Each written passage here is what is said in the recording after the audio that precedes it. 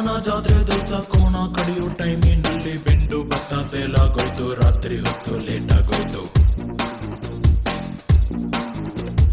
ಬೀದಿ ದೀಪ ಆಫ್ ಆಗೋಯ್ತು ಮಾರಮ್ಮಕ್ಕೂ ಬೋರಾಗೋಯ್ತು